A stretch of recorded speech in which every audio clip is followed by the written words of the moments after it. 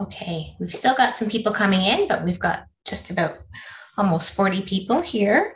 So um, just wanted to welcome everyone to the Introduction to Matrimonial Real Property and Case Study Workshop. Um, going to be hosted by Kathy McCue. She is our MRP specialist at NALMA. Um, before that, I just wanted to go over a few housekeeping items. If everyone could ask everyone to please keep their mics on mute at all times. Um, we will be taking questions in the chat feature, which is located at the bottom of your screen. If you just wanted to type your question in there, I will make note of them and they can be asked to Kathy. Um, I will ask them at the end of her session. Um, or if you would like to ask yourself, I will unmute your microphone at the end of the session. Um, I just wanted to remind you that session feedback forms are located in the Whova app under the survey section. So please, uh, we encourage you to fill out um, your feedback form on each of the sessions that you attend over the course of two days. And also a reminder that this session is being recorded.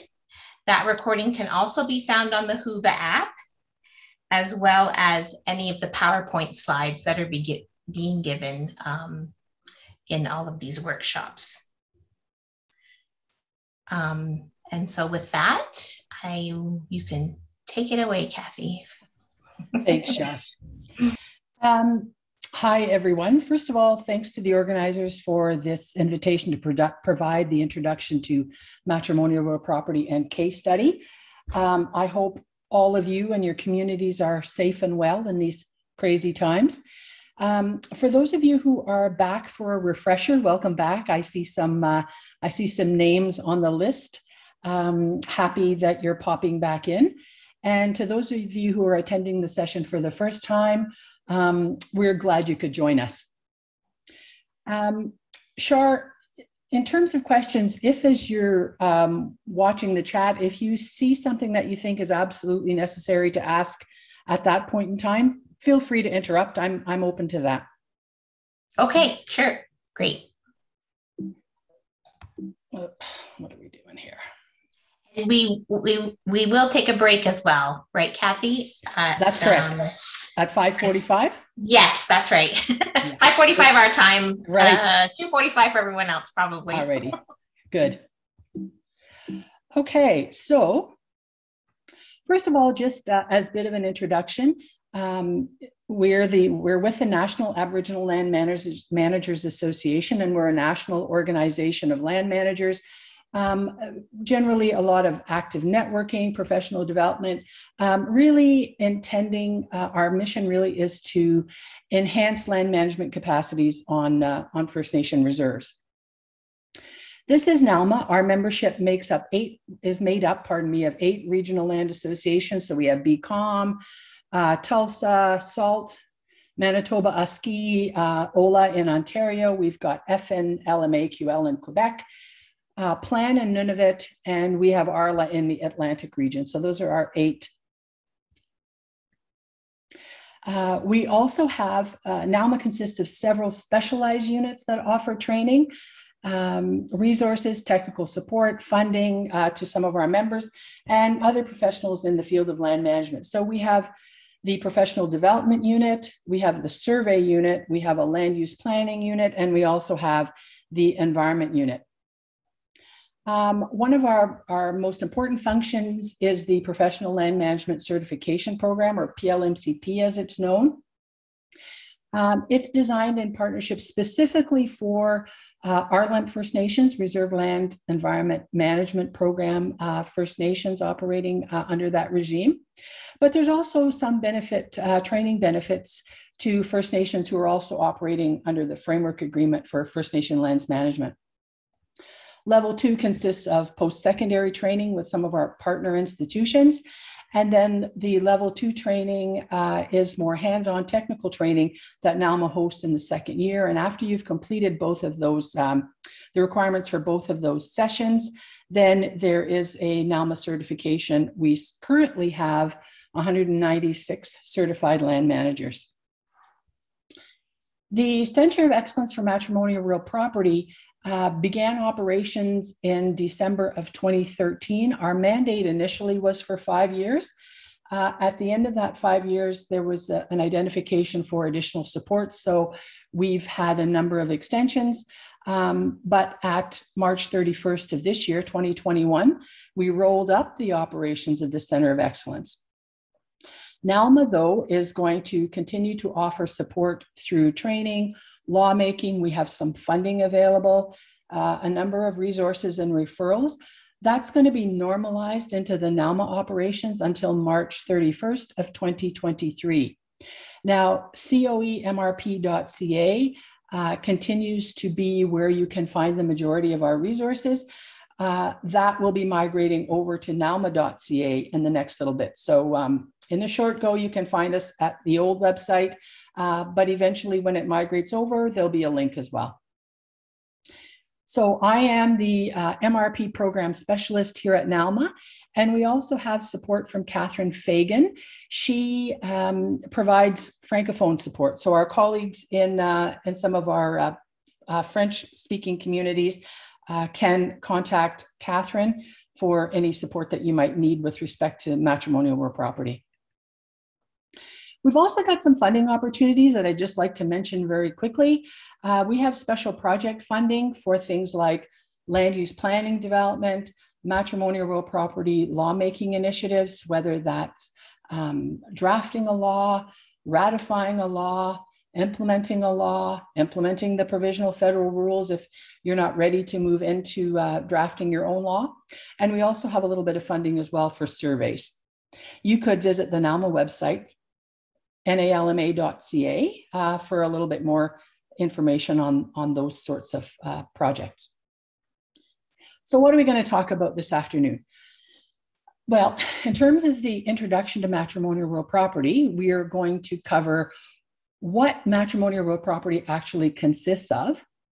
We'll take some time to figure out why it was deemed that legislation was even necessary to address this topic We'll talk specifically about what's contained in the Family Homes on Reserves and Matrimonial Interests or Rights Act.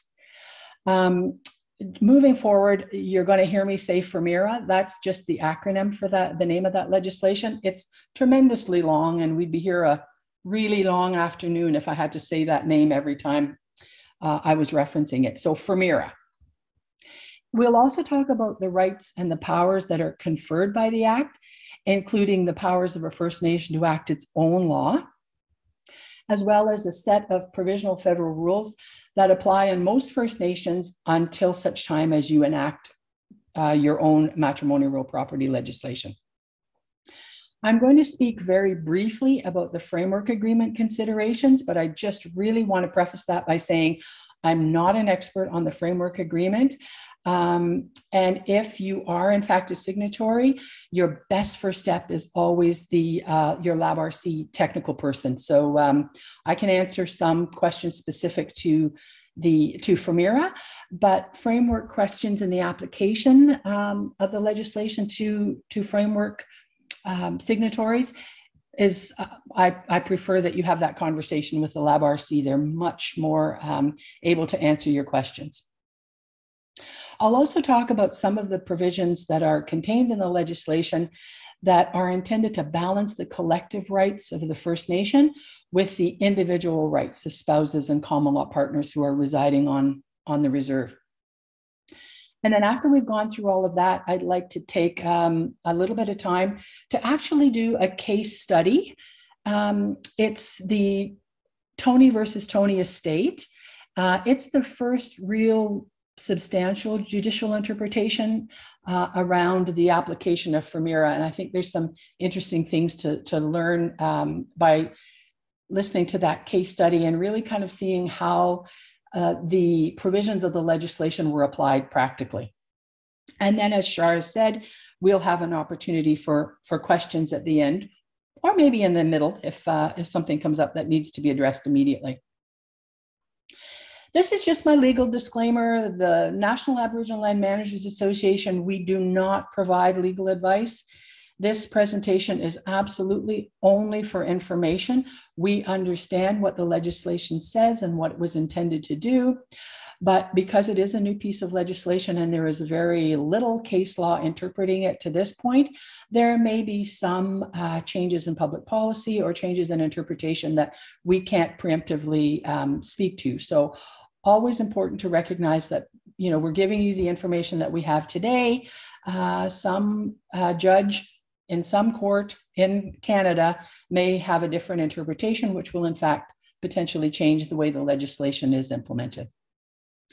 We also always recommend that individuals who are looking for information on um, what they may or may not be entitled to, uh, to seek legal advice. We can certainly explain what rights and protections exist within the legislation, um, but your own legal counsel is always in a better position because they are going to have a good understanding of the Indian Act, the First Nation Land Code, if that's applicable, They'll have an understanding of FHRMIRA or your First Nation MRP law, but more importantly, they'll have a good understanding of the couple's specific circumstances. So we're always going to suggest that you, um, you consult with your own legal counsel. So what's matrimonial real property to start with? Well, matrimonial real property is the land and it's held by one or both spouses or common law partners and it's used by the family. It could include houses, sheds, and any other structures securely attached to the land. Personal property is everything else. Personal property is the movable assets, the furniture, the cars, the fish hut, the cash, the sofa. All of those things are uh, personal property. And it's important to distinguish between the two.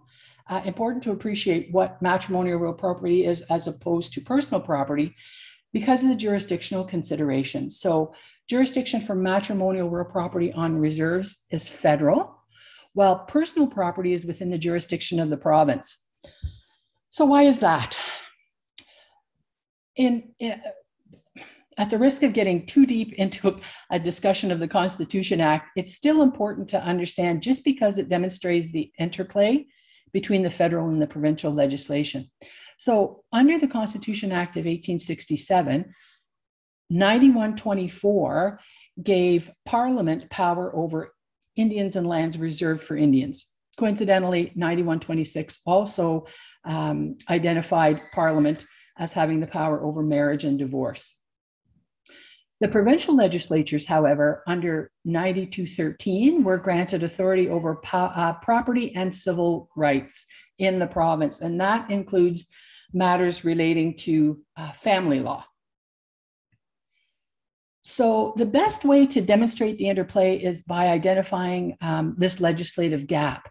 So, back in 1986, the Supreme Court of Canada ruled in a case, Derrickson versus Derrickson, and they determined that the courts can apply provincial or territorial family laws to matrimonial real property on reserves, right? because the Parliament has exclusive jurisdiction over lands reserved for Indians under 9124. And the Indian Act doesn't address the issue either. So, as a result, many of the legal protections and rights regarding matrimonial real property that were available to individuals um, elsewhere were not available to individuals who were living on reserves. And that is uh, what we um, identify as the legislative gap. So, in terms of filling that gap, there were a number of initiatives. The federal government included in their self government policy some guidelines to make sure that on reserve MRP interests or rights were built into self government agreements involving reserve land management. Uh, the First Nation Land Management Act, the um, signatory First Nations uh, develop land codes to manage their reserve lands. And it, it provided at the time 12 months from the date that a nation's land code took effect to enact rules and procedures dealing with MRP and reserve lands into their land code or into a First Nation law. But even with those initiatives, um, the number of First Nations who actually developed measures to deal with matrimonial real property was quite small. So there remained very few protections for spouses and common law partners uh, who were living on reserve, experiencing relationship breakdown, uh, or the death of a spouse. So, in on June the 19th of uh, 2013, the Family Homes on Reserves and Matrimonial Interests or Rights Act received royal assent. Um, and it was intended to ensure that those of us who live on reserves have similar protections. They can't be identical just because of the nature of reserve land, but we can have similar protections and rights as other Canadians when it comes to the family home and to the division of interests or rights. So the Family Homes on Reserves and Matrimonial Interests or Rights Act has two main um, parts. The first part covered in section 7 through 11, they took effect December the 16th of 2013. And that is a mechanism by which a First Nation can enact its own matrimonial real property law. So, what that mechanism entails is uh, a First Nation obviously engaging with its community and determining what its uh, principles are, the kinds of um, things that they want to include in their own matrimonial real property law. Um, engaging a legislative drafter to come up with and, and give words to those sentiments. And then the First Nation is obligated to submit that law to its members for approval through a vote. So, a First Nation who is intending to enact its own law has to make sure and give good notice to its members as to how, when, and where they can exercise their right to vote on this law that's being proposed by the First Nation. So, um, when the vote takes place, there are some parameters, there are some metrics that, um, that allow um, a, a law to be considered approved. So during the vote, at least 25% of your eligible voters have to participate in the vote. So if you have 1,000 as a, as a nice round number, if you have 1,000 eligible voters on your voters list, then at least 250 of them have to participate in the vote. So that's the first hurdle. The, the second piece is that then a majority of those who voted must vote in favor in order for the law to be considered. It's a two stage process. So if you don't meet the threshold of the 25%, then um, really the, the number that voted in favor is inconsequential because you must meet the threshold and then the majority would be considered. Um, if a First Nation is enacting its matrimonial real property law under its land code, however, then that First Nation would use the lawmaking provisions contained in the land code. Okay. The second piece of the act are these PFRs, provisional federal rules. Those took effect a year later, so December the 16th of 2014. Um, and the reason for the, the, the one year delay was really, I think that the, that the um, that the government recognized that there were some First Nations who were already in the process of enacting legislation to address this. So the the one year delay gave a little bit of time to tidy those up and get those um, those laws enacted prior to the provisional rules taking effect. So what these rules rules do is they they provide a set of rules for dealing with matrimonial real property until the First Nation passes its own MRP law or indefinitely if a First Nation chooses not to, to enact. And what it also does is it, it helps spouses and common law partners to understand what they might be entitled to with respect to lands, the family home, or other structures that exist um, and that they might have an interest in when a marriage or a common law relationship ends. So the provisional federal rules cease to apply once a First Nation law is enacted. But as we move farther and farther away from December the 16th, 2014, it's just important to remember that there may, in fact, be situations where you have enacted your own matrimonial real property law, but the provisional federal rules continue to apply because they were in force at the time that this relationship broke down. So, again, filling the legislative gap. If everything in that circle um, is something that needs to be addressed or dealt with on the uh, breakdown of a relationship or the death of a spouse, then everything in the blue portion is already within the jurisdiction of the province that you reside in. So the provincial family law regime will help you to settle issues related to child support, custody, who gets the money in the bank, who gets the car, the furniture, the boats, all of those movable assets. Remember that we talked about personal property? The tiny little sliver of red is really all that FHRMIRA deals with.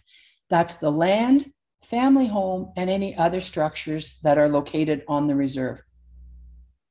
So, effectively, if you are unable to resolve your matrimonial real property issues um, and you find yourself uh, in a court in your province dealing with both issues, then what's going to happen is the um, the, the judge that's hearing your your case is going to basically have the provincial family law regime in one hand to deal with all of those issues in blue. But when it comes to land and the family home and those other structures that exist on the reserve, then they are either going to have a copy of the provisional federal rules if you don't have your own law in place yet, or they're going to have to have a copy of your matrimonial real property law in order to interpret um, and come to a, an answer around how the land and the family home is treated. So FHRMIRA provides these PFRs, the provisional federal rules, or the First Nation enacts its own matrimonial real property law, either under FHRMIRA or under its land code. So FHRMIRA applies on most reserves now, but there are some exceptions. And until the First Nation enacts its own MRP law, as I said, either under FHRMIRA or uh, under your land code. So, who are those exceptions? This is a little bit of a complicated chart, but um, if you follow it through, if you've got any questions about whether this legislation applies in your First Nation or in the First Nation that you are employed by, it's just a matter of kind of working your way through.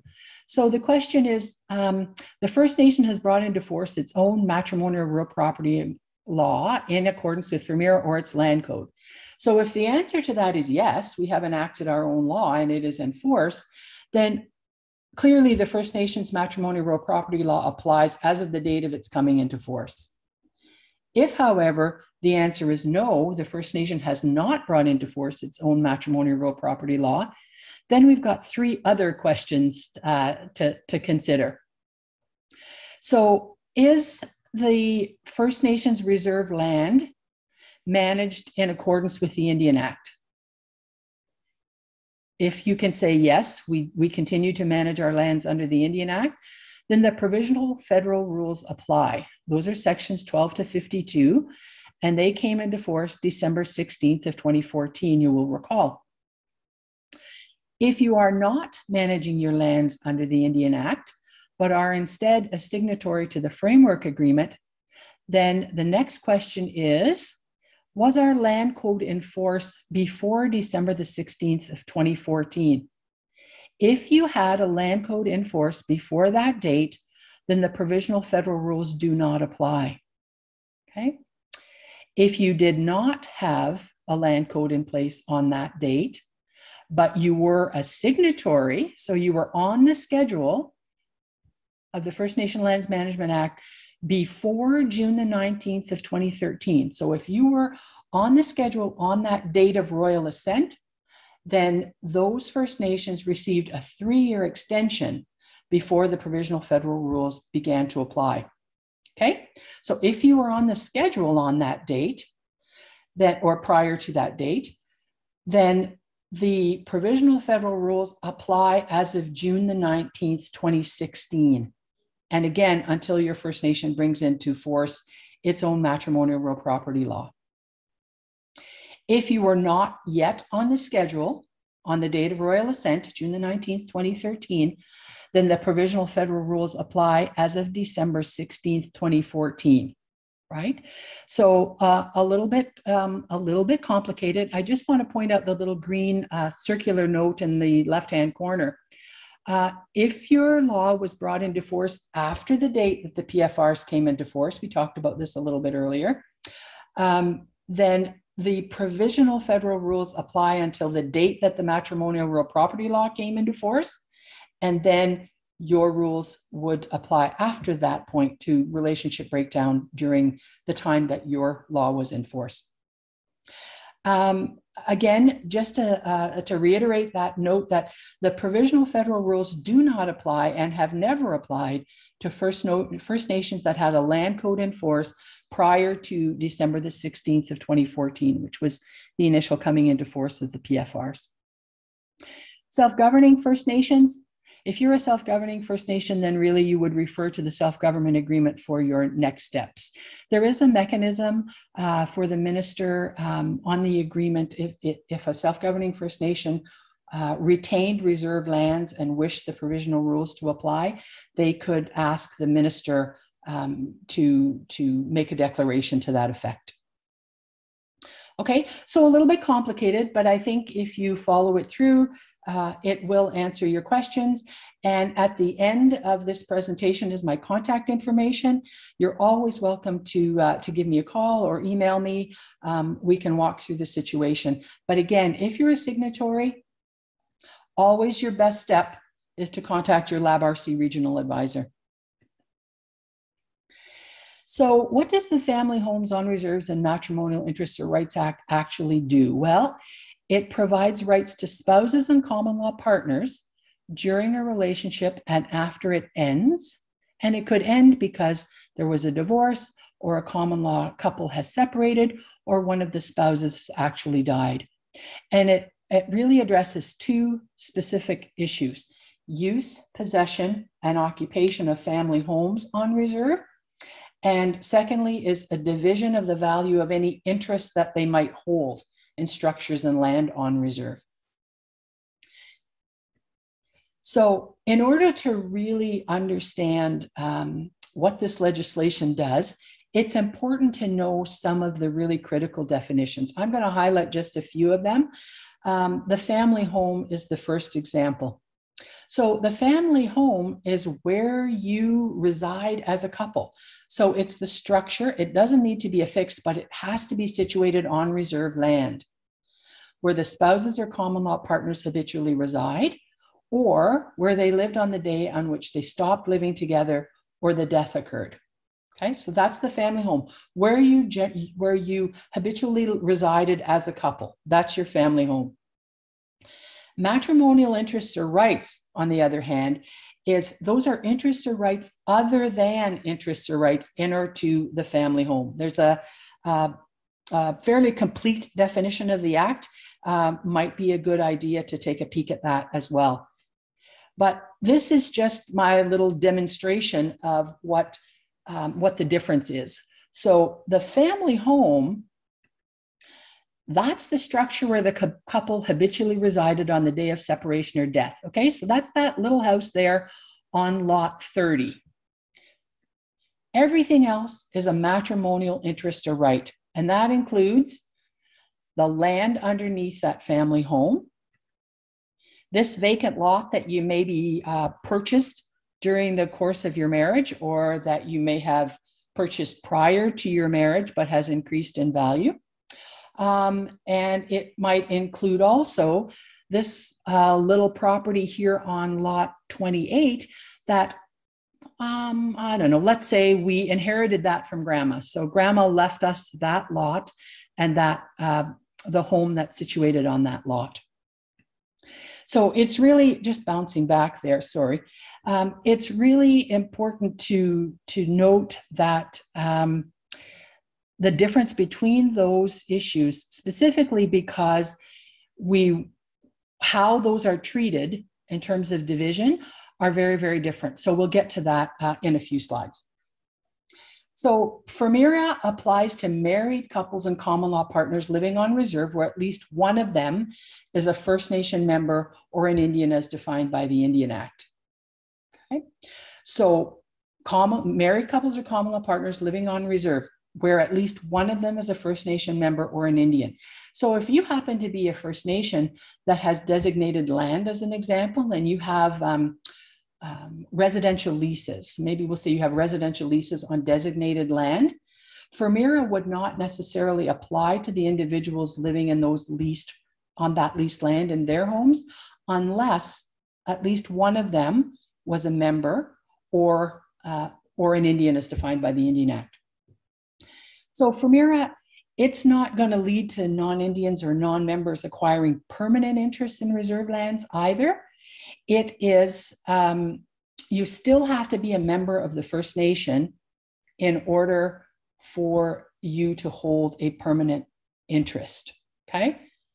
The other important thing to, uh, to recognize as well is that anyone who's looking for remedies under FHRMIRA, so if you have um, an, a, a, breakdown of a relationship and a, a spouse is, um, the spouses are unable to come to an agreement and one of them makes an application to the court, they are obligated to provide a copy of the application to the First Nation. Okay, if you're looking for remedies under the legislation, you must notify council. The provisional federal rules can't be applied retroactively. So that's why it's really, really important for you to understand and to really be sure you know what rules apply when. Okay. They only apply in situations where the relationship broke down or the death of the spouse occurred on or after December the 16th, 2014, or if you were one of those um, signatories that was on this the, the schedule on the date of royal assent, then June the 19th of 2016. Okay. Know which coming into force date applies. It's really, really uh, critical. So let's get into some of these provisional federal rules. Uh, as I said a little earlier, they're covered in sections 12 to 52 of the legislation, and they provide this set of interim rules that allow spouses and married, uh, sorry, spouses and common law partners to determine uh, what they should be entitled to, what rights and remedies exist for them within the legislation, both on the breakdown of a relationship and on the death of a spouse. So, as we go through these provisional federal rules over the next hour or so, um, if there is something that really just doesn't sit well with you or you think you know i'm i'm not sure that that fits with uh, with our tradition and culture then what i would ask you to do what i would challenge you to do is think about okay how could we make this right? How could we improve this uh, through the development of our own law? So i'm going to go um, through the provisional federal rules somewhat numerically. So I'm going to start with section 13. And what section 13 does is it confirms the right of each spouse or common law partner to occupy that family home during the conjugal relationship, whether or not that person is a First Nation member or an Indian. This is an important section for those of you who uh, have uh, potentially got um, residency bylaws as an example. You might want to take a look at your residency bylaw and make sure the provisions in that legislation are consistent with the rights and protections that exist um, in the federal legislation. And, and frankly, that's probably something that may be required in terms of all of your policies. This legislation really uh, provides rights and protections to spouses and common law partners that are still, you know, relatively new and potentially unfamiliar. So it may be a good idea to take a look at all of your policies and bylaws and take a look at whether or not they're consistent with, uh, with the legislation. Section 14 is a really important one, and, and surprisingly, it's one that I hear about um, quite often, sadly. And what Section 14 does is it provides a spouse or common law partner who is a survivor, so their spouse or common law partner has died. It allows that survivor the automatic ability to remain in that home for a minimum of 180 days. And the idea behind that 180 days is to allow someone to to to breathe, to grieve, uh, and to really take some time to think about how what their life is going to look like in the absence of their life partner. So it's really just an opportunity to to figure out what their next steps will be. And that is an automatic 180 days. There's no requirement to apply for that. The legislation provides it automatically. And uh, for those of you who are technicians um, within the community this is something that you really want to be aware of and it may be something that you want to to share with the members of your community um, specifically so that uh, people don't trample on other people's rights inadvertently. Um, I have had a number of calls uh, from survivors who have been uh, locked out of their homes. Um, I've I really most recently, um, and I keep thinking that you know we're we're almost six years in now that potentially people have got a better understanding of the, the protections under the legislation. But it really was just a number of months ago that I received a call from a woman who um, whose spouse had passed, and she went to purchase um, she went to purchase food for the wake, and came back to find all of her locks had changed. Um, someone had come in and, and changed her locks, and in that instance, um, she hadn't intended she didn't intend to stay anyway. What she what she had always planned was that she would return to her own first nation which was nearby. She would return to her own first nation to her family um, and have her um, have her family care for her in her grief and she didn't intend to stay but because of you know the hasty decisions um, there were some some feelings hurt and some bridges burnt that um, that might not have been had people kind of taken a second to to understand and to have a conversation about what rights and protections exist for survivors and uh, and take some time to move forward in in um, in understanding those. Section 15 um, is a requirement for consent. So that means that a, uh, a spouse or a common law partner that is trying to transfer or encumber um, the family home must obtain the consent of his or her uh, spouse or common law partner. So if you're wishing to register an instrument um, in ILRS, as an example, Indian Land Registration System, you have to obtain the consent of your spouse or common law partner, whether or not that person is a member or an Indian where the family home is affected. So some of you may have seen uh, these forms or, or some, something similar. So these are just examples of the forms that are required when you are registering an ILRS. So the assessment of matrimonial real property and statutory declaration, which is the, um, the form that's on the left-hand side, that form determines whether or not the family home is being affected by the transaction. So if um, in completing this statutory declaration, the proponent says that yes, the family home is in fact located on the subject land, then that triggers a requirement for the statutory declaration of the spouse or common law partner, which is the form that you see on the right hand side of the, um, of the page. Uh, I, I, guess I'm going to add at this point in time too that if you are registering in the First Nation land manage, First Nation land management, FNLRS. Um, the the uh, the First Nation, there are different forms for registering in that system. This is for people who are managing under the Indian Act, First Nations that are managing under the Indian Act, and registering in ILRS. Um, if you have questions about what those forms look like, uh, again, your regional advisor is the best person to um, to do that to, to help you find those forms. So you, um, and, and really those are for signatories who continue to be subject to the provisional federal rules. Okay. Kathy, just going back to section 13 for a moment. Yes. Is that 180 days, uh, working days or just days completely? It's like, just days. It's 180 days from the date of the death of the spouse.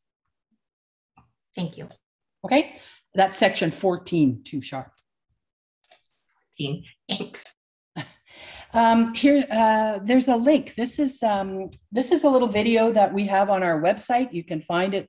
Um, I'm hoping when the PDF version of this comes out, there'll be a live link actually to uh, to this video. If it isn't live, it's on our website, coemrp.ca, under the resources tab, and it's um, resources for First Nation leadership and technicians.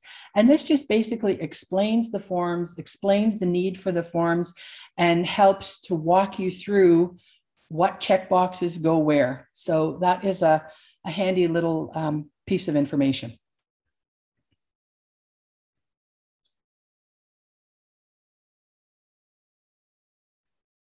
Oops, that's not what I want to do. I want to go. Can you advance the slide, Char? No, I don't have. Oh.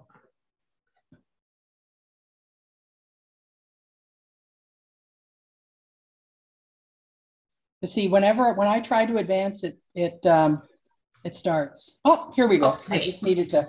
I just needed to let it start. I guess. Uh, sections 16 to 19 are the next um, provisions I want to talk about. They are relating to emergency protection orders.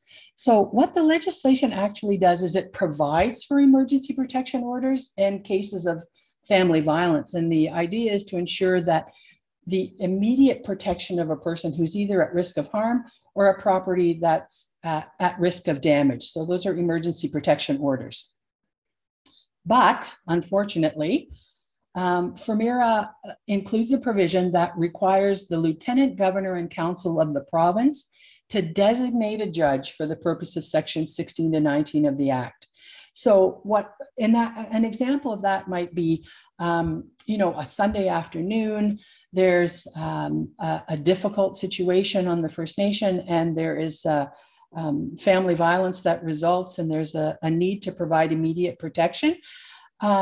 If the province had designated a judge, as an example, potentially a justice of the peace who was available on that date, uh, at that time, you know, it's a Sunday afternoon, you're not probably going to find a, a, um, a, a judge uh, during that time.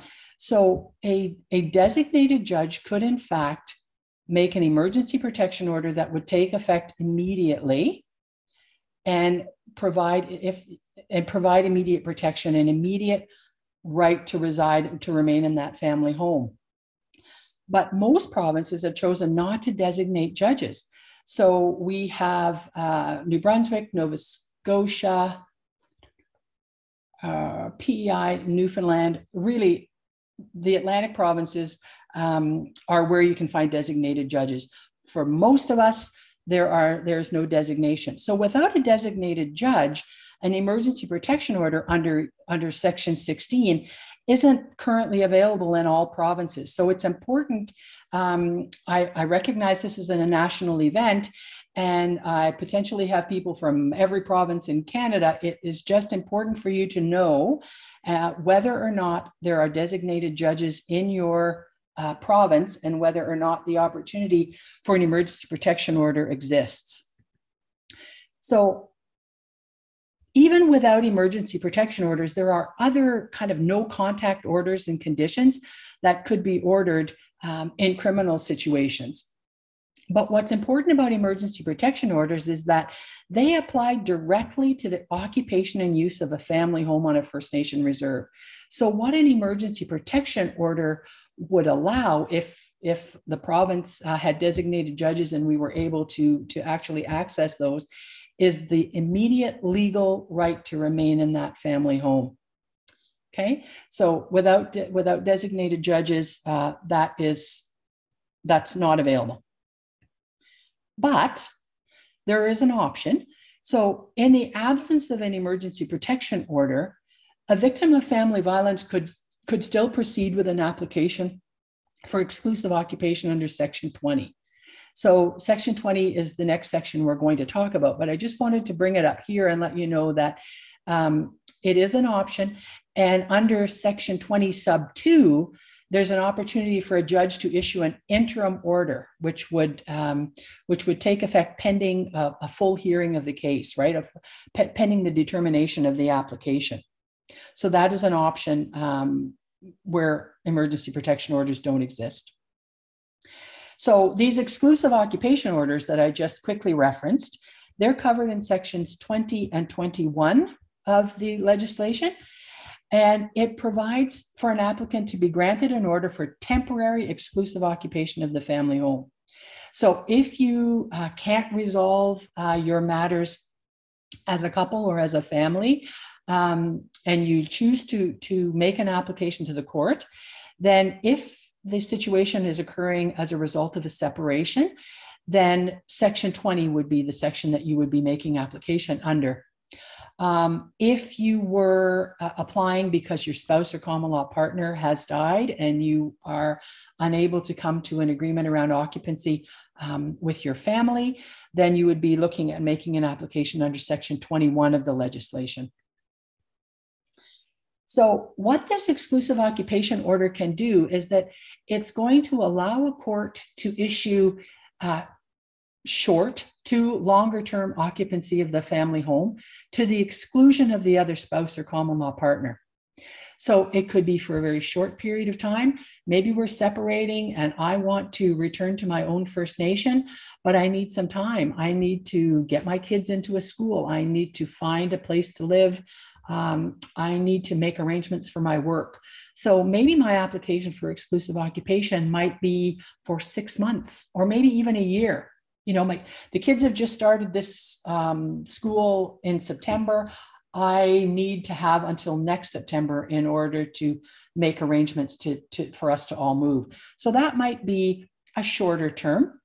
But it might also be, if we're talking about exclusive occupation on the death of a spouse, this might be someone who has been part of your, your community for many, many years.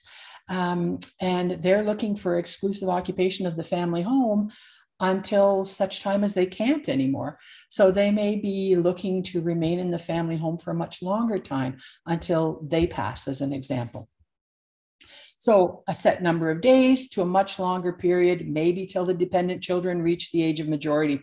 There are a number of circumstances um, that would determine the, the, the length of time that an order um, might be granted for.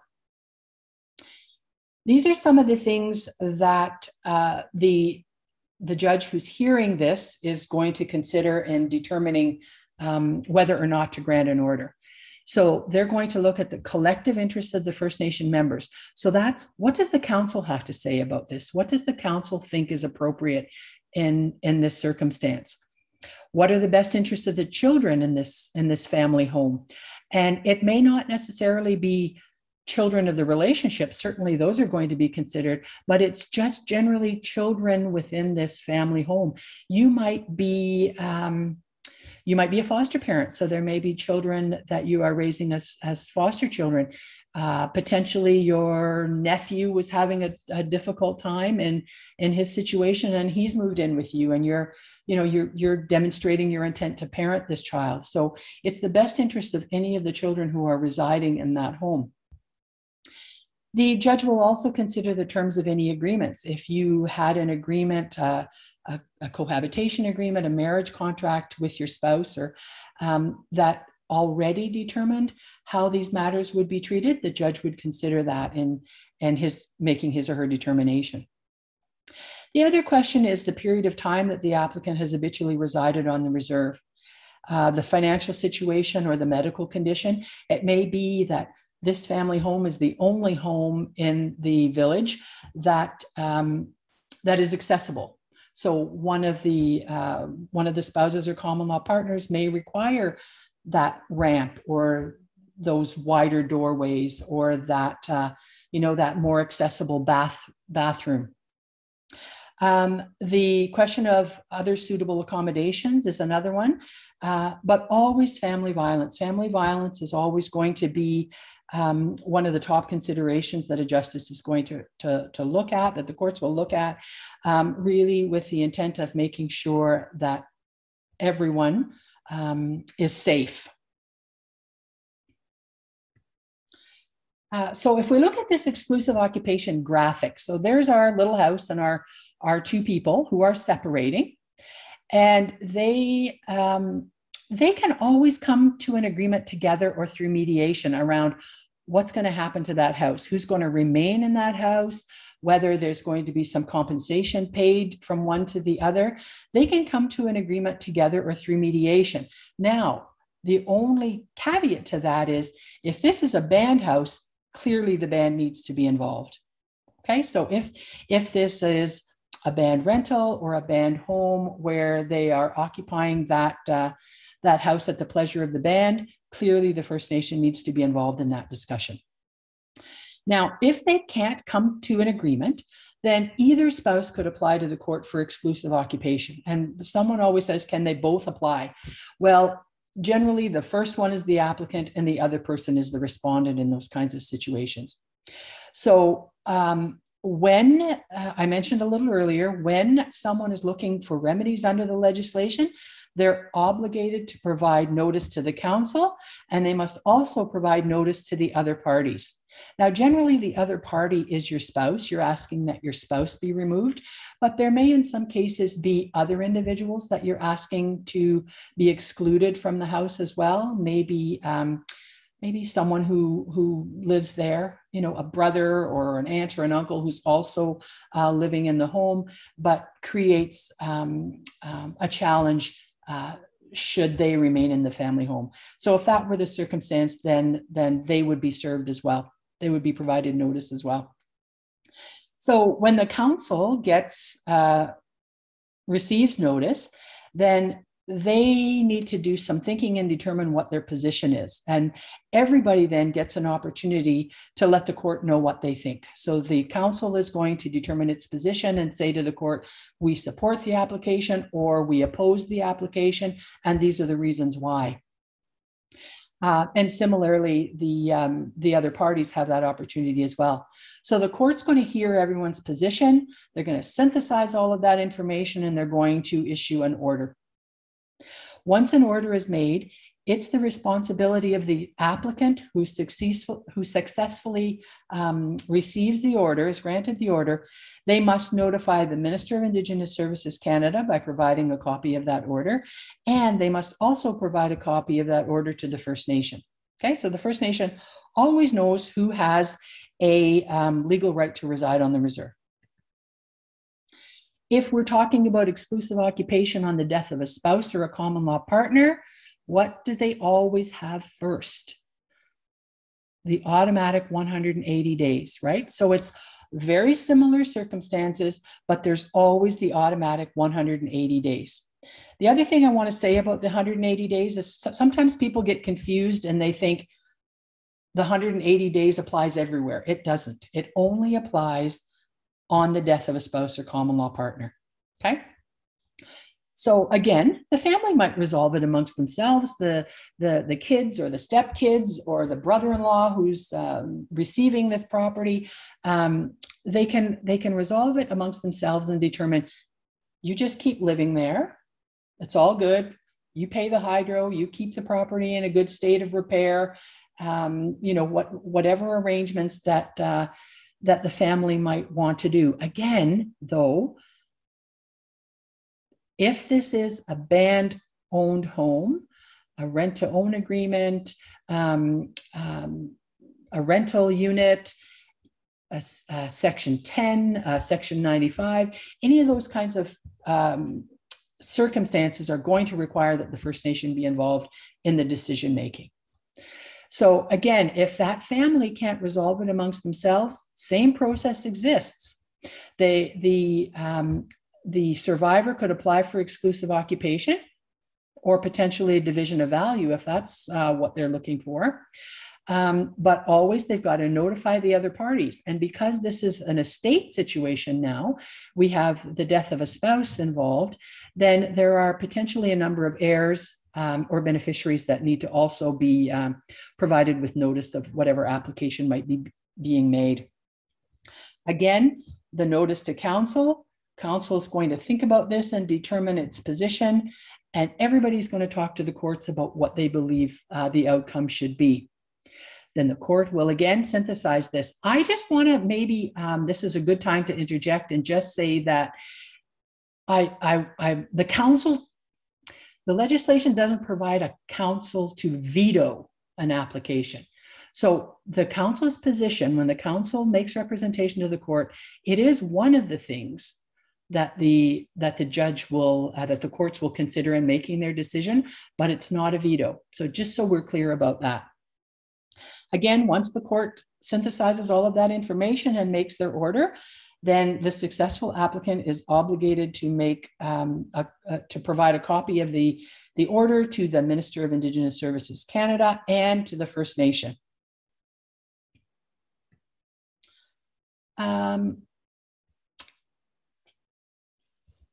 Section 28 to 31, I'm just wondering if this is, um, Shar, I think before I start this one, maybe this is a good time for us to break. We're about three minutes early, but does that work? We do have a hand raised. Oh, okay. Let's answer that question first. I'm just going to unmute.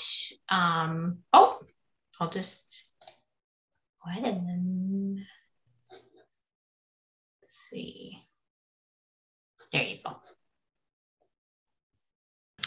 I was just going back to the 180 days on the next screen there. Yes. she was talking about. Um, yes. Is that prior to like anybody, or is that to like non-band members that if your spouse was to pass, is that like 180 days for the non-band member to make a decision of like, or is it for the council to make a decision on what happens with the home? That 180 days is an automatic right for that survivor to remain in their family home and make decisions about what their next steps are going to be. So it may be that if they want to remain in that family home past the 180 days, then they would be looking to make an application for exclusive occupation under Section 21.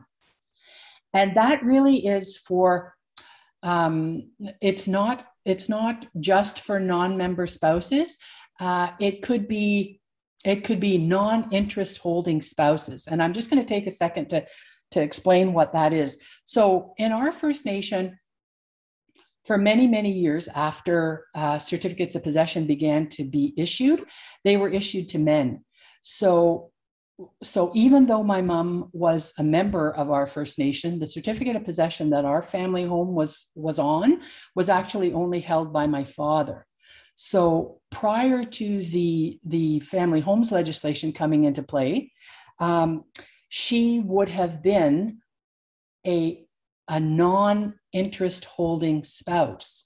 So she would have been in the same situation as a non member spouse. And that if my dad, as an example, had left the family home to his brother or his uncle or his oldest child, then my mom wouldn't have had any legal recourse because she was a non interest holding spouse. So now a survivor has that 180 days to determine what is best for them. Do I want to continue to live in this house? Can I sort it out with my family and continue on without um, a court application? Or do I need to make a court application either to remain in my home for whatever period of time I wish, or maybe I've decided that the house is too big and the lawn is too big and I'm you know i'm i'm not inclined to cut the grass and shovel the driveway anymore so maybe they want to move into a um, one of those cute little uh, retirement home uh, retirement units that the band might have in operation. So maybe instead they're going to say, mm, no, uh, but I I'm going to apply for division instead. So I want my um, I want to be compensated for my half of the value of this property so that I can now move in and and start my life in a different way. So that's what the 180 days is for. It's really it's not a lot of time. I think i'd still be on the floor in fetal position if you know if i lost my husband but you have 180 days to make some pretty significant decisions about the rest of your life as a as a person and um, after having lost your your life partner thank you you're welcome any other questions before we take a quick break, Shar? Nope, nothing in the chat. Okay, so how long are we breaking? So how about we um, how about we we come back at five two? Okay, So so, that's like not quite ten minutes. So it gives sure. everyone a chance to grab a drink and have a quick washing break because I I really have a, a fair amount left to go through. Okay, absolutely. We'll see you at five to the hour then, everyone.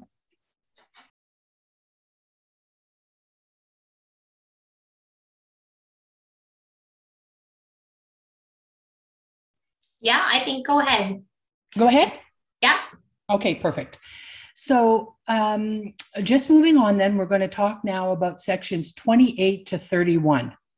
And these are complicated provisions that deal with a division of value of matrimonial interests or rights. And again, the caveat here is that if the family home is a rental unit that's owned by the band or you're occupying um, the, the property at the pleasure of the band or in fact of, of someone else, then division may not be applicable in these circumstances, right? You can't have half of something you don't own. But the occupancy options that exist within the legislation would continue to be available. Whoops. So the, um, the, the purpose of these sections is really to make sure that the proven value of the, the, the matrimonial interests or rights in or to the family home and any other structures that are on reserve are shared fairly. They can't be shared equally, as I said earlier, given the, um, the nature of reserve land, but shared fairly on the breakdown of a relationship. Um, so if both spouses are members, then the value of the interests or rights to land can also be considered for the purposes of division. And that's section 28. So, in order to really understand division, you need to wrap your head around the types of interests that exist in your community. So, spouses and common law partners could hold land in a variety of ways. They may have certificates of possession, they may have certificates of occupation, uh, potentially, there's lease agreements. Uh, it might be an interest that's been granted under a First Nation land code. Uh, or it could be a custom allotment, and custom allotments aren't recognized as legal land holdings in the um, under the Indian Act. Houses too, uh, you know, a, a family home may have been built using an individual's own funds. It might be a band guaranteed loan. It might be some sort of rent to own agreement. So, understanding the interest or right that's been granted by the First Nation will assist individuals in understanding what the potential is for division. So if we look at this graphic, then this is a formal landholding. So it's a certificate of possession with a $100,000 house on it. And the value of the land in this instance is $20,000. So always, always, there's nothing in this legislation require, that requires court. It recognizes the rights and the ability of a couple to resolve these matters amongst themselves without having to access the courts. But everything that we're talking about in terms of the provisional federal rules is that worst case scenario where you can't resolve it as a family. So if they were able to come to, to an agreement either together through some sort of mediation, uh, potentially the First Nation has a dispute resolution process that's accessible to the couple, that would be ideal. Uh, I don't think I'm speaking out of turn to suggest that the courts aren't always familiar with our approach to land, our connection to the land. Um, so wherever possible, be resolving it outside of the courts, I think has the potential to be a better resolution, but sometimes we can't get there. When someone's angry or someone's hurt, it's difficult to get there. So if someone um, has no choice but to apply to the courts, exactly the same situation, right? Someone's going to apply for a division of value. They're going to have to tell their spouse or common law partner. They're going to have to provide a copy of that application to the council. The council is going to have to formulate its position about whether or not to support the application or not. Um, and then everyone talks to the court again. So the, the, the, the court is made aware of the feelings of the spouse as well as the feelings of the council. Now, a good example of how the council might get involved in this situation is so we have our house and our land that's valued at $120,000 combined, but what if there is a mortgage? What if they've uh, what if the band has loaned them some money to build or purchase this house and there's an outstanding mortgage? So if someone's making an application for half the value so we're talking $60000 it's at this point that the council would be able to step in and say hang on there's an outstanding mortgage of $80,000 uh, on this property, then the amount uh, available for division is the value of the property less any debts for acquiring it. So it's 120 less 80 is what 40. I don't know, my math isn't the greatest. So that means that the application then would be for half the eight, half of the 40. So someone would be looking for compensation for $20,000. So again, the council and others make representation to the court. The court determines what it considers to be fair, issues the order, and the successful applicant then has to provide that copy to the minister uh, and to the First Nation. So here we are, that very same property, $120,000. Now, this is, remember, I said we divide it fairly and not necessarily equitably. Well, if it's a member and a member, then they can share half the value of the family home. So there's the 50,000. They can also share half the value of the land if this is a formal land holding. So the possible division in that scenario is $60,000. But if it's a member and a non-member, then really it's just the structure that's divisible. So half the value of the family home is what's available for division. A non member can't share in the value of the land. The land is here for the use and benefit of the members. So a non member would not be able to make application for um, half the value of the land. Where are we? So here we're back to looking at our other matrimonial interests or rights. And I'm going back to the same um, graphic because where individuals have multiple land holdings, the, the value of the family home is generally divisible unless there's a legally binding domestic agreement that was made between the partners. So, so the family home, um, a presumptive equal share, so 50% of the family home. But the division of all of the other matrimonial interests or rights is much more complicated, and it depends on a number of factors. As an example, when it was acquired. If it's appreciated in value, so you brought that piece of property to the relationship, um, and it has increased in value over the course of your relationship. The amount that's divisible is the amount that it's grown. So if it was worth fifty thousand dollars when you uh, when you when you came together as a couple, you're now separating and it's worth sixty thousand dollars. Then it's the growth that's um, it's the appreciation and value that's divisible. If it was received as a gift or an inheritance, it is exempt. It does not count as matrimonial real property. Now, that being said, you want to be um, you want to make sure that you appreciate that the family home is divisible. So, if, as an example, you inherited um, uh, a home and you moved into that home together as a couple, it's where you habitually reside as a couple, right? So, it's potentially divisible. So important things to consider um, in, in those kinds of circumstances. Again, the amount available to share is the value of the property less any debts against it. So if there is a mortgage, then clearly it's the value less whatever is outstanding that becomes uh, the amount that you can share.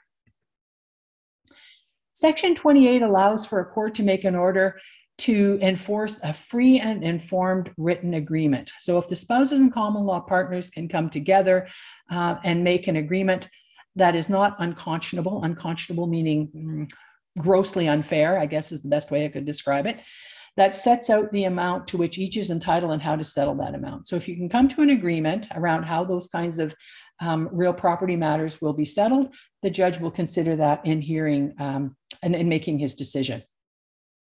That's section 28.5. And I just want to mention um, that, the, that we just actually contracted with a lawyer who has put together um, a booklet with, uh, I think it's three sample um, domestic agreements. Uh, that is that will be on our website in the next little while. So keep an eye out for that if that's something that you're you're uh, inclined to need. Um, again, not legal advice, but just some samples that might get you thinking about the sorts of things you would need to consider uh, when you're having your legal counsel draft something for you.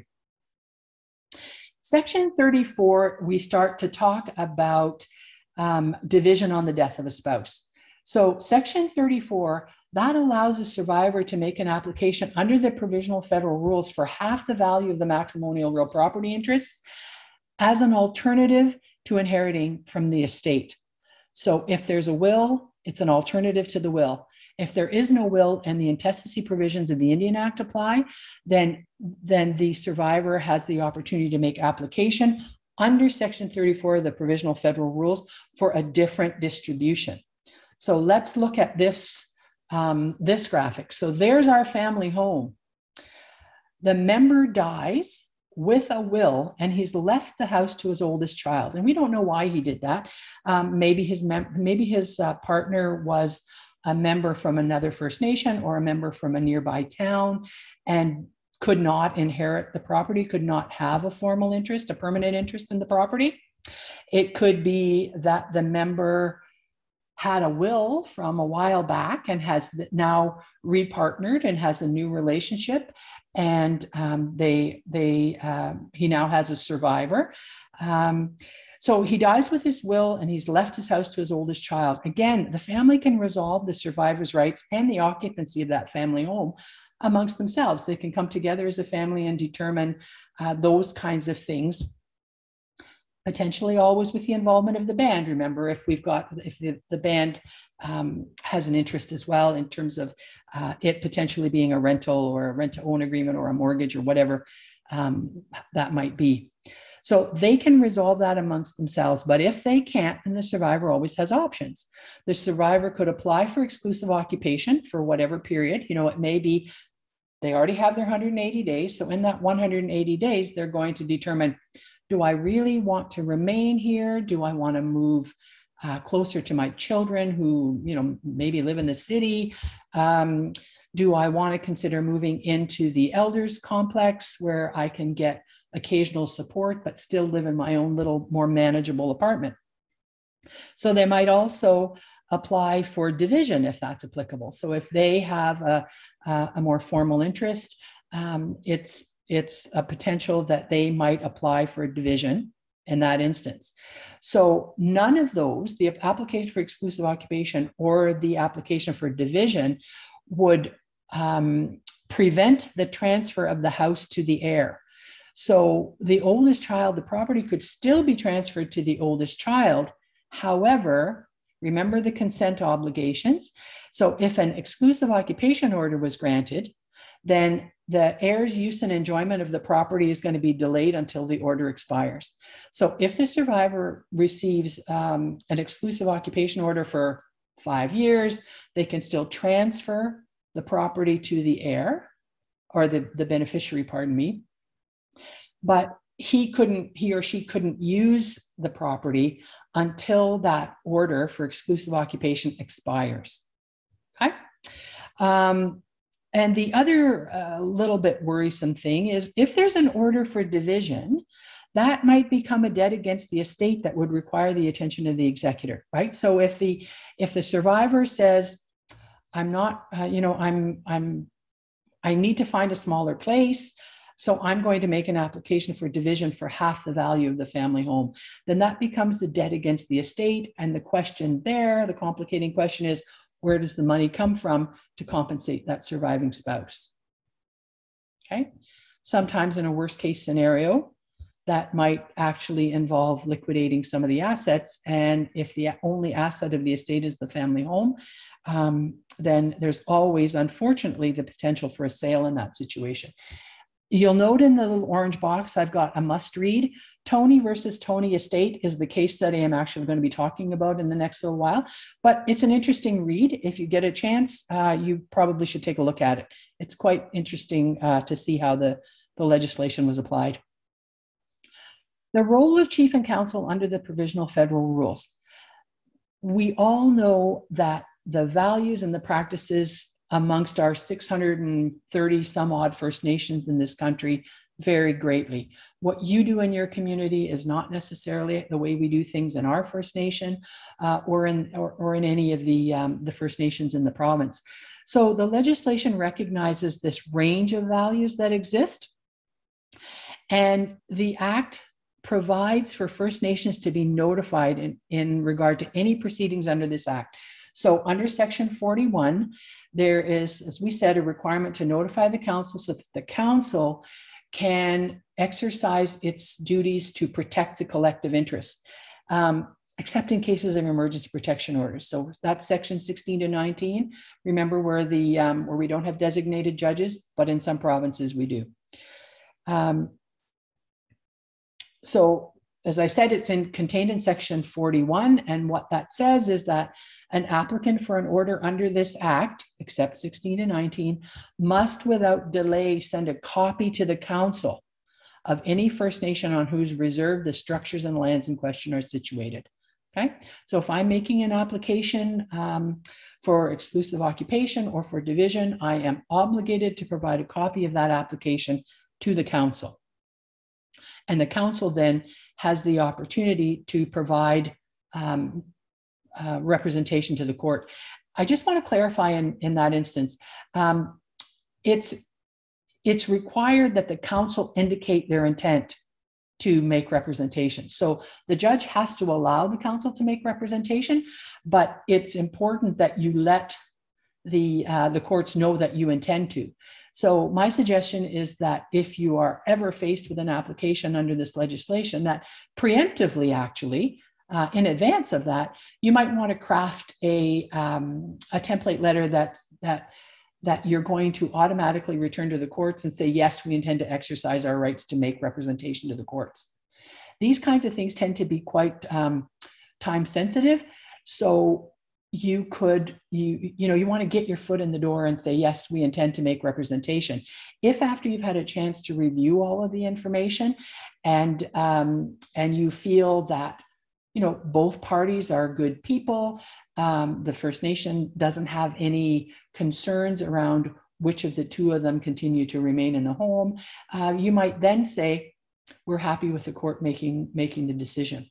But always I think it's probably a good practice to always make representation. The, the flip side of not doing that is I worry about a situation where the court makes a decision that's unpopular.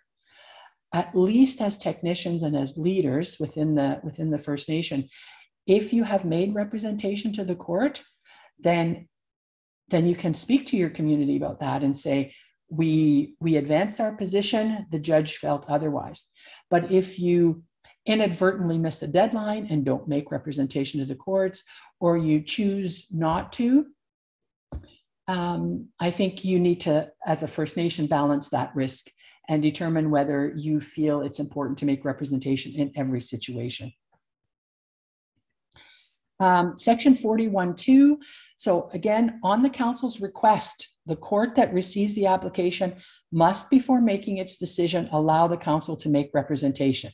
Now, that little uh, picture in the corner there, I've just added, um, it's our implementation of the matrimonial real property regime toolkit.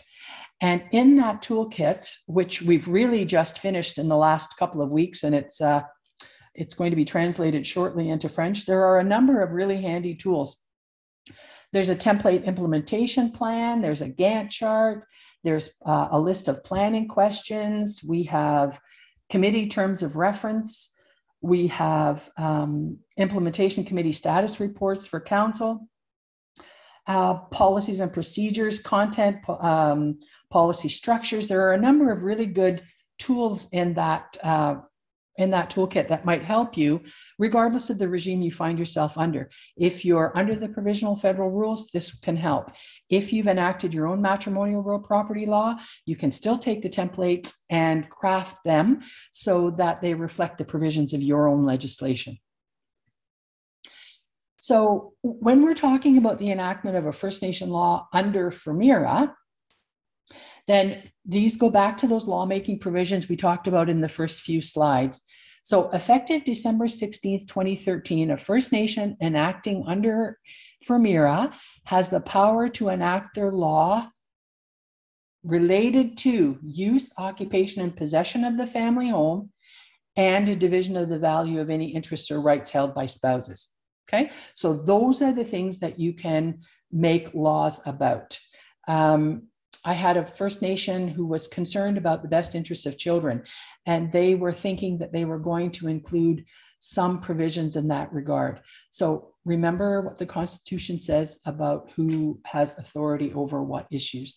So um, if you're enacting a matrimonial real property law, these are the areas that can be covered under that law use, occupation, possession, division.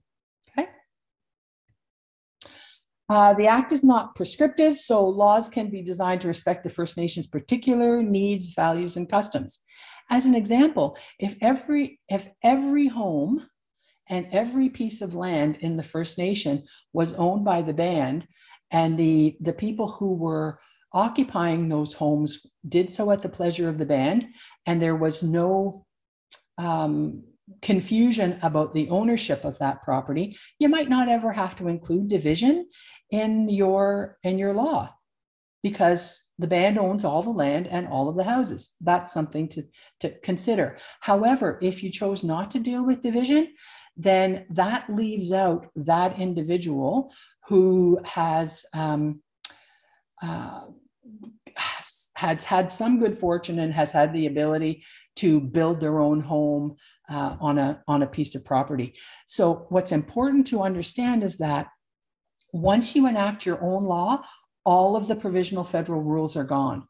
Okay, so if you chose not to include one of the provisions that are contained in the legislation, you are absolutely um, uh, able to do that.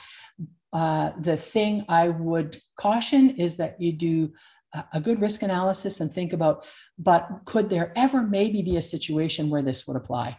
where we would need this.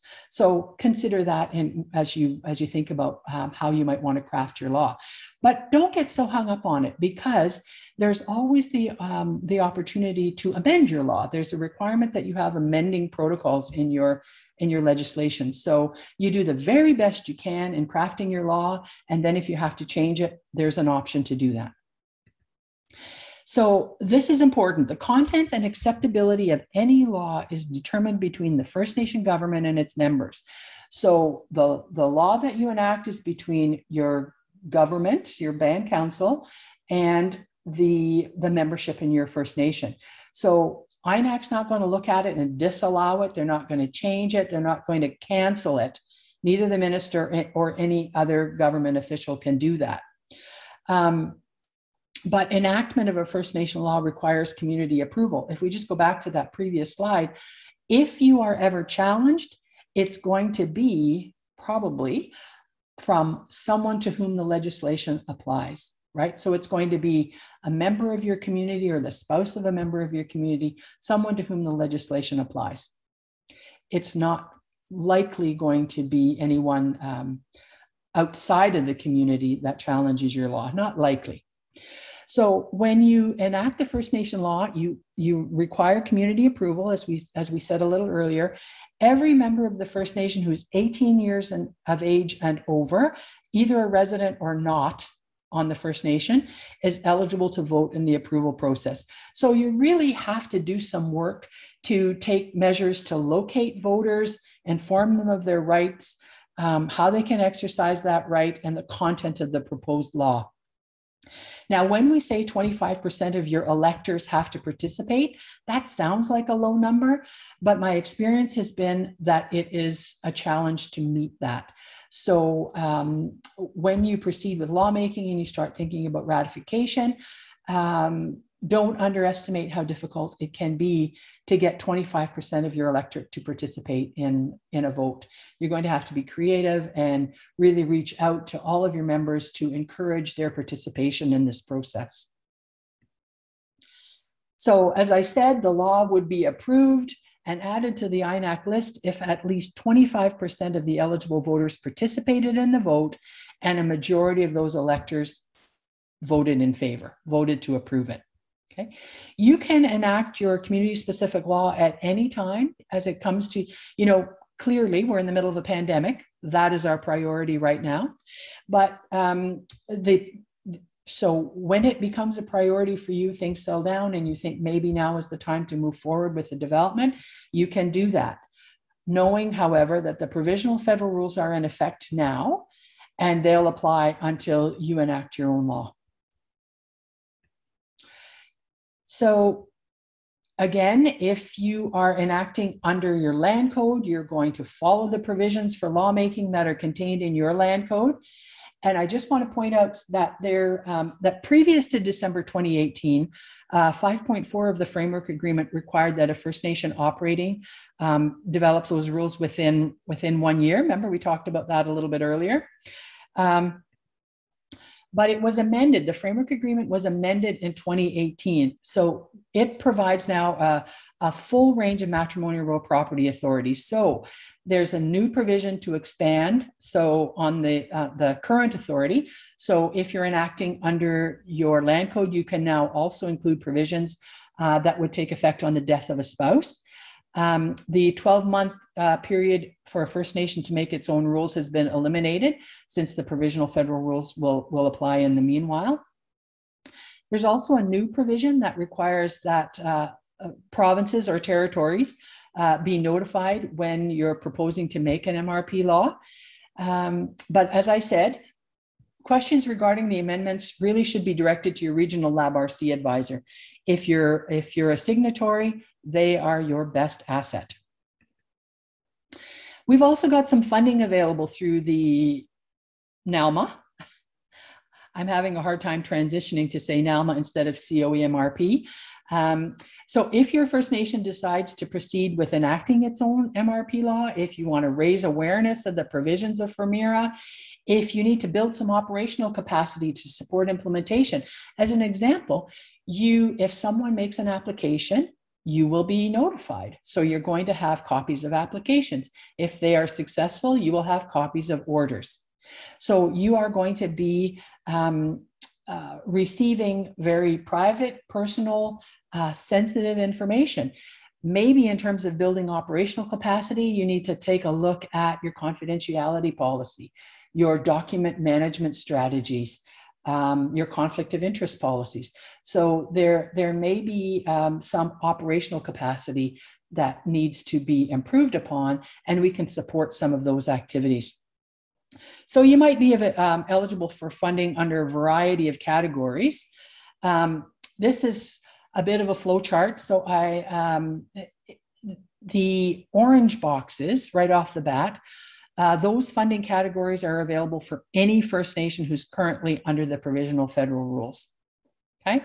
Anything in the green is um, uh, are others as well that are available to any any First Nation that is not a signatory.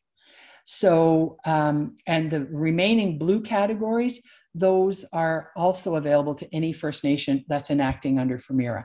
So it's a little bit of a complicated uh, chart, but if you work through um, this, the situations, uh, you should be able to answer your own questions. If you uh, have questions, there's my contact information and my direct line and my email address. You're welcome to call me and we can uh, discuss whether um, a funding um, application is something you, you should really entertain. So let's, before we move into this case study, let's review the survivor rights under FHRMIRA. So when a spouse or common law partner dies, that survivor who doesn't hold an interest or right in the family home gets to stay in that home for a period of 180 days after the day on which the death occurred, right? Whether or not that survivor is a First Nation member or an Indian. That's the automatic 180 days that's covered in Section 14. A court, on application by survivor, whether or not that person is a First Nation member, can order that the survivor be granted exclusive occupation of the family home. 21.1. So first we had the automatic 180 days.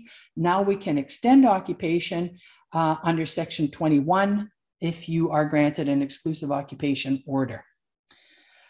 Um, again, rem- remembering that the court can make an interim order to the same effect pending the full determination of the, the, the hearing. Under the provisional federal rules, a survivor has a choice to make, right? You can either benefit from a court ordered division of the value of the deceased interest in or right to a family home and other matrimonial interests or rights under the provisional federal rules. So you could make a court application under Section 34 of FHRMIRA. Option two is that you inherit from the deceased will or under the intestate estate provisions of the Indian Act. Okay, so you could you could choose to just follow what was um, identified in the will, or you could follow the intestacy provisions contained in Section 48. Now, in both of these cases, each is specific to the family home or other matrimonial interests or rights. It doesn't mean that the, it doesn't preclude the survivor from inheriting other assets from the deceased. So an application under section 34 is all about the family home and other matrimonial interests or rights. So if the survivor chooses option one, which is to make an application under section 34, they have to do that within 10 months of the date of death. Okay, so there's quite a, there's a very specific um, time frame within which that application can be made. Uh, so section 34 sets out survivor entitlements respecting the family home and the matrimonial interests or rights. Now the courts could extend the 10 month period in certain circumstances. So if the death was a result of an accident, as an example, and both spouses were injured, it may be that the um, the surviving spouse was not well enough to make an application within the 10 month period. So the courts could consider uh, extending that period of time.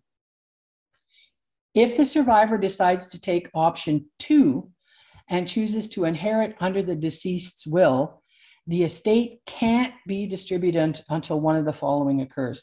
So the survivor has to consent. There's a requirement, uh, just like when you're trying to transfer uh, a property um, the requirement for spousal consent? Well, there's a requirement for the survivor to consent.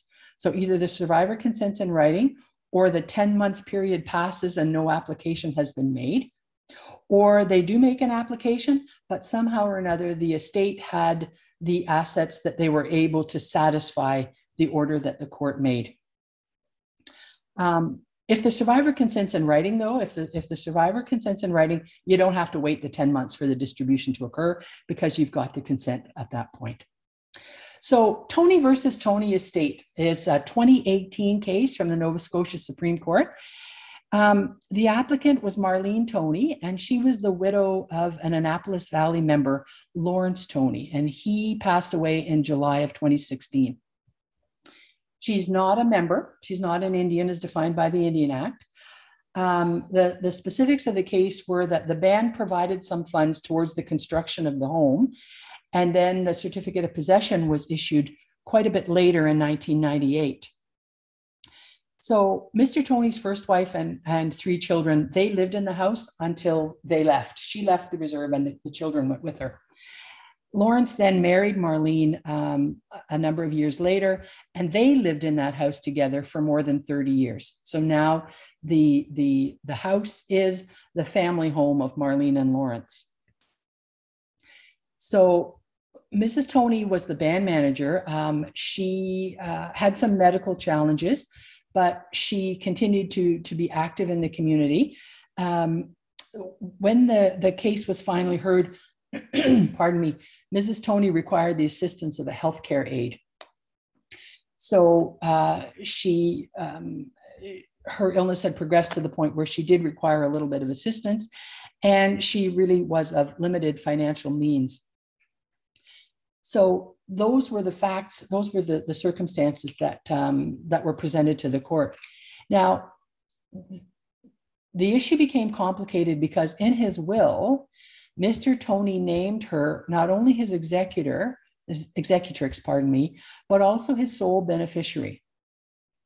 So Lawrence's estate was that matrimonial home that they that they shared together. That was on lot one.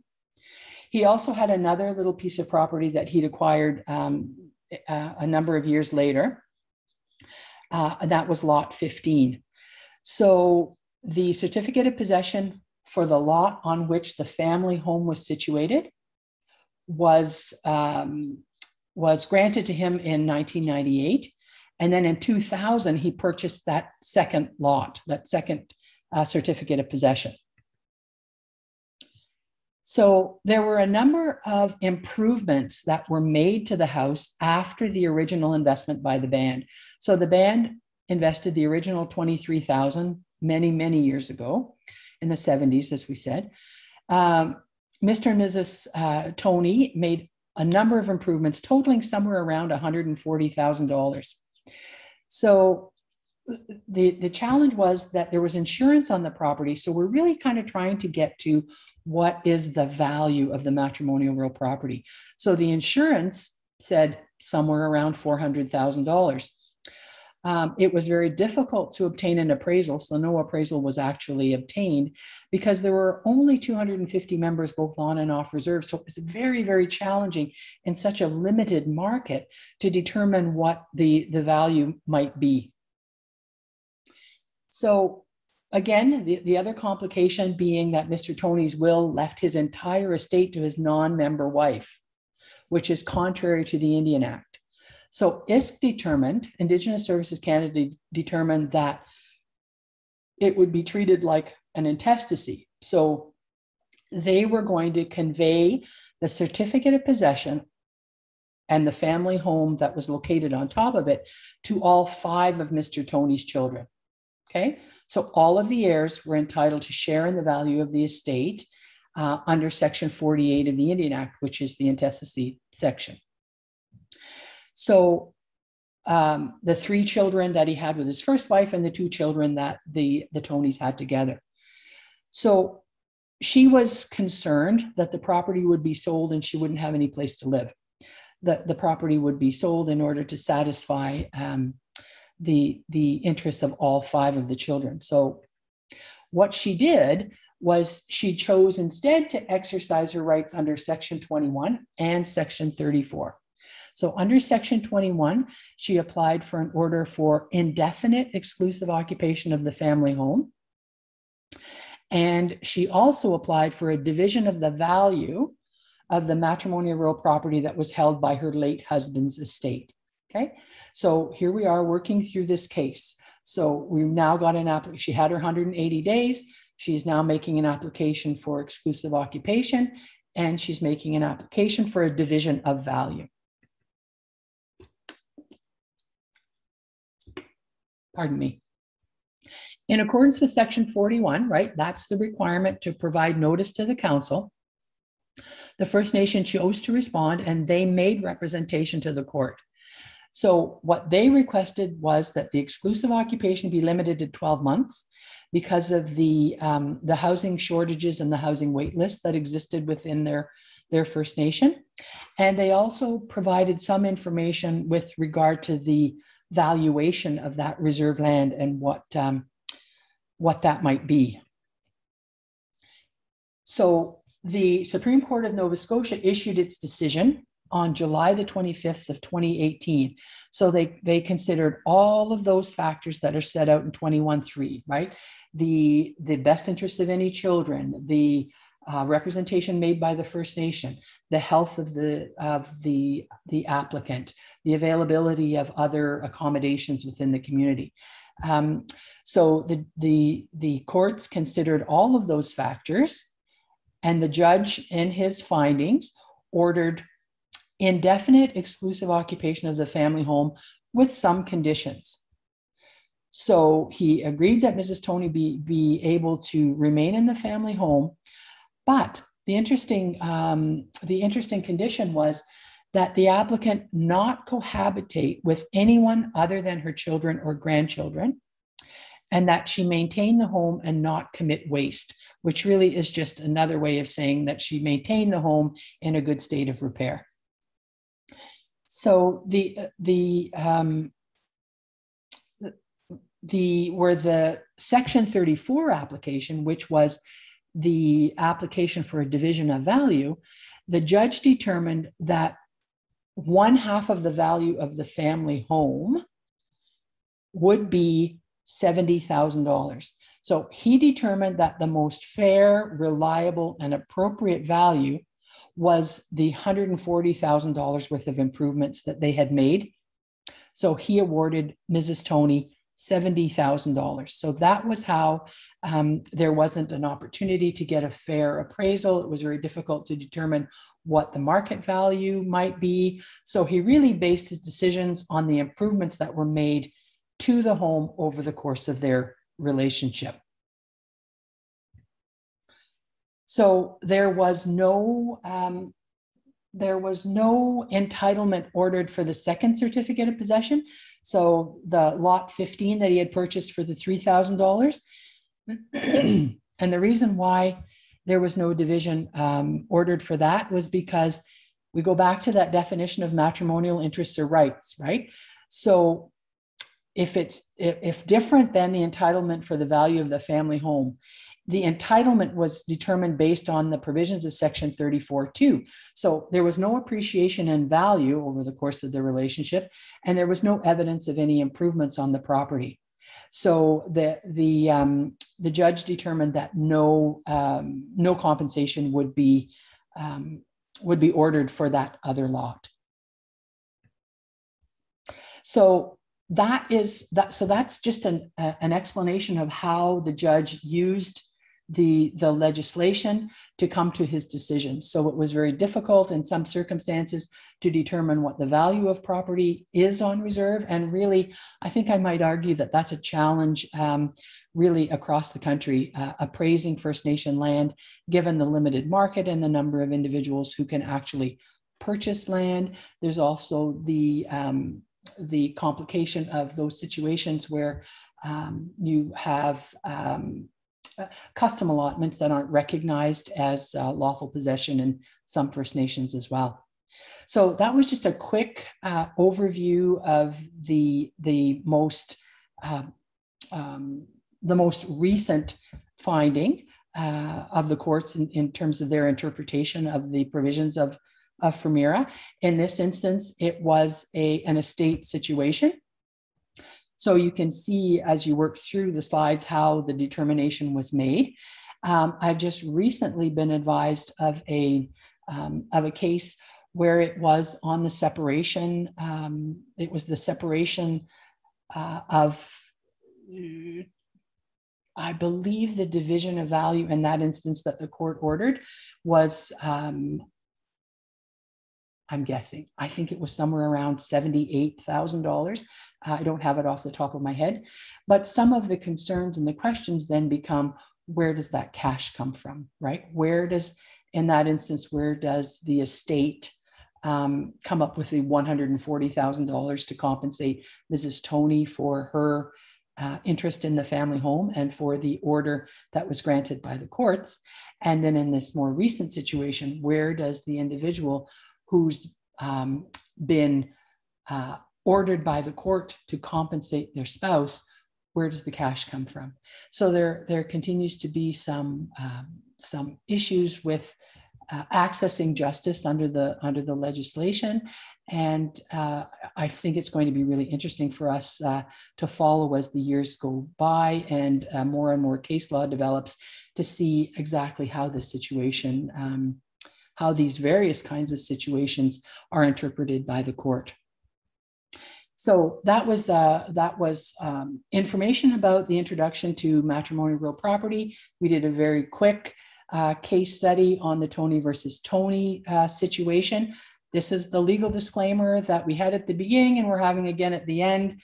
We don't provide legal advice. This information is based on what we know at the moment and the best information that we're able to um, to obtain through our uh, understanding of the legislation and the interpretation of the court. But things could change if an interpretation um, was different than what we what we believe um, the legislation uh, to mean. Again, we're always going to recommend that individuals obtain legal counsel uh, because that lawyer is going to be the one most um, most aware of and in tune with the Indian Act, FHRMIRA, the land code uh, on the First Nation that um, if that's applicable, and, and even more importantly, the couple specific circumstances. So next steps. We're here for you. Uh, you have my contact information on this um, on this PowerPoint. If you've got any questions after today, I'm really happy to speak with you. Uh, if your First Nation is thinking about enacting its own law, or you you feel like your your council or your technicians could use a little bit uh, more information on what the legislation provides and how the provisional federal rules might apply in your circumstances, uh, call us. We're happy. We can do Zoom sessions like this uh, to a specific uh, element, either your, your council or your council and your technicians. Um, if you find that you're getting questions from uh, people in your community that you are not 100% positive you can answer um, confidently, you're always welcome to share our contact information. Just let us know how we can help. We're here. We're happy to do whatever we can to um, to help you to understand how this applies in your community, and uh, and call us. We're happy to hear. Um, there's our contact information for the NALMA head office, and my information is uh, is included here as well. So that's it. And it is good. We made good time. we still have the half hour for questions. Um, Kathy, I do have a question going back a little bit um, okay. in your presentation. Uh-huh. Um, could there be a situation where the children can buy the debt out without avoiding having to sell? Yeah. Yeah, that's exactly. You could come up with an heirs agreement. So you could come up with an heirs agreement that's that says, um, you know, we've decided that the property is going to be transferred to brother one or sister one, and he is going to compensate everybody in, in these amounts. So it is absolutely possible for, for, for a family to come up with an agreement that way.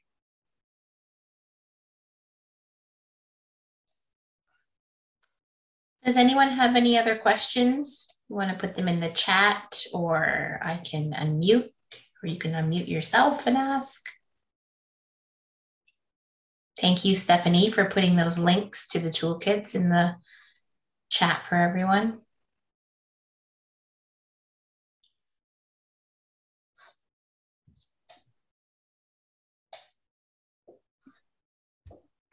Anyone? It's a it's a very complicated topic.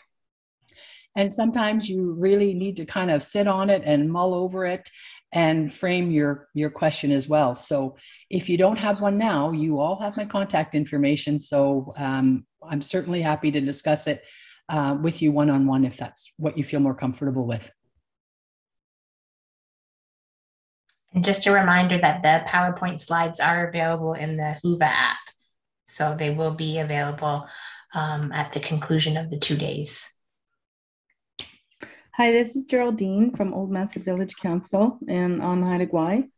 Um, I have a question about the um, uh, where there's a survivor that is a non-member and they applied for what to go into, let's say, uh, the assisted living or or whatnot like that. So, even are they able to still do that, even in BC? Uh,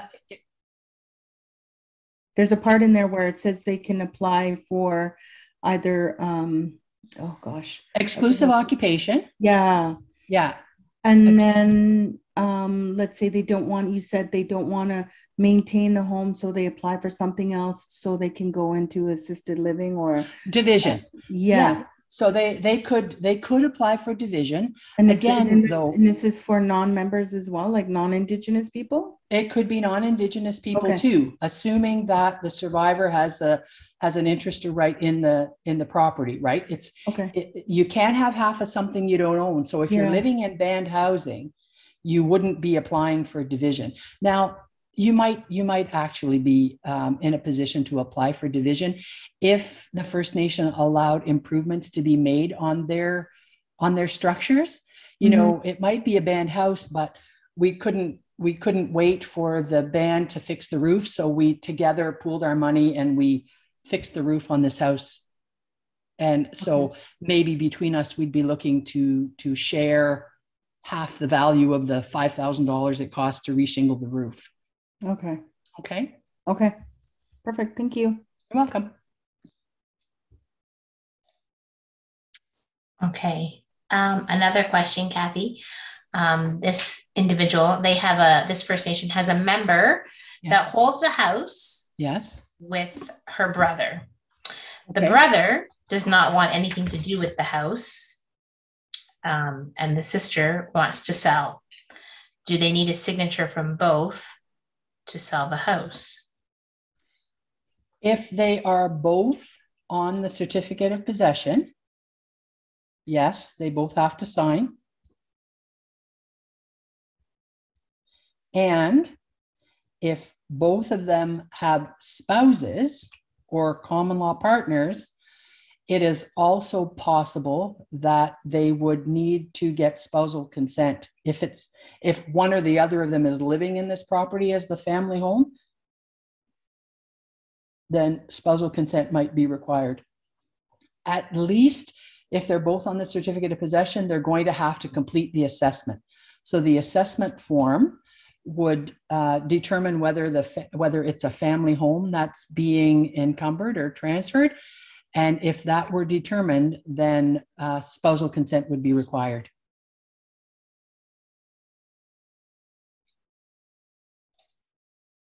Thank you. Any other questions before we sign off?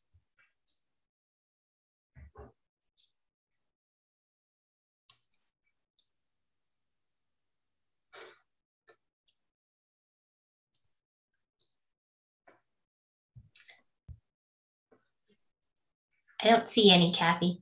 Okay. Let me just scooch over here. Well, thanks. Thanks so much for the opportunity to uh, to speak about this topic. Um, as I say, it's relatively new. It's very complicated. People are still trying to figure this out. Call if you have questions. We're happy to help. Thanks for your help, Shar. Thanks everyone for attending.